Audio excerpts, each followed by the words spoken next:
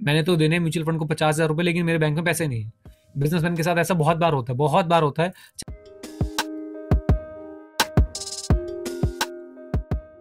और इसके बाद इसके बाद एक जो आपने एस वर्ड यूज़ किया एस डब्ल्यू हम कभी और चर्चा करेंगे। STP में मैं अभी चर्चा कर देता हूँ। एस बड़े कमाल की चीज़ है। सिस्टमेटिक ट्रांसफ़र प्लान मान लो इसको आप। और ये क्या करता है ये कैसे काम करता है? फॉर एग्ज़ाम्पल आप एक बिजनेसमैन हो। आप बिजनेसमैन हो तो आपके पास जो है किसी महीने बहुत पैसा आता है किसी महीने कम पैसा आता है राइट लेकिन आप S I P S I P तो आई होप हमारे सारे सब्सक्राइबर समझते होंगे सिस्टमेटिक इन्वेस्टमेंट प्लान जो हमारा होता है। तो आप एस आई पी में बनना नहीं चाहते आपको डर लगता है कि यार हो सकता है किसी महीने मेरी एस आई पी आ जाए मेरे पास पैसा ही ना पड़ा हो। मैंने तो देने म्यूचुअल फंड को पचास हज़ार रुपये लेकिन मेरे बैंक में पैसे नहीं है।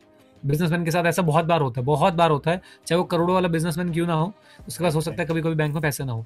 तो वो लोग जो है एसटीपी का यूज़ कर सकते हैं कैसे यूज़ कर सकते हैं वो लिक्विड फंड्स जो होते हैं डेट फंड्स जो होते हैं, उनके अंदर अपना जितना भी पैसा आता है, वो पार्क कर दें वहाँ पे और उसके बाद वहाँ से एसआईपी बनवा दें कि वहाँ से पर मंथ जो है एक अमाउंट वहाँ से निकलता रहे। इससे डबल एडवांटेज होगा, एक तो एसआईपी पे सॉरी आपको लिक्विड फंड पे भी आपको थोड़ा बहुत जो है इंटरेस्ट मिलता रहेगा प्लस आपका पैसा ऑटोमेटेड मोड में जो है वो इक्विटी फंड्स के अंदर जाता रहेगा, जहाँ से आप लोगों को फिर जो है रिटर्न जनरेट कर सकते हैं।